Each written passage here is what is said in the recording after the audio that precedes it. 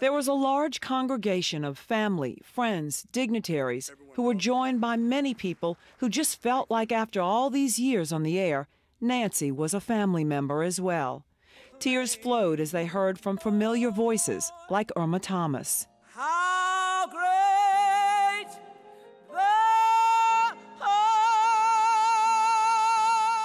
The mayor talked about the moment she heard of the tragic, untimely loss of Nancy.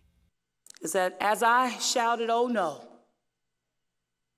and as I moved about the city of New Orleans, that same feeling and that same loss and that same shock seemed to be embedded in every citizen in this city. There was a surprise visit by P.J. Morton of Maroon 5. We don't understand it, but just let go and let God.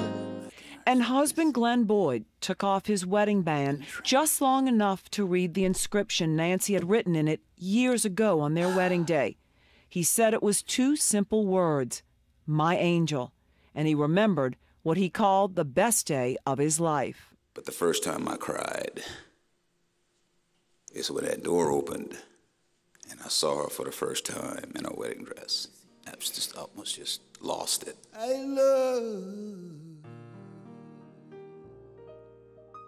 only you. Meg Farris, Eyewitness News.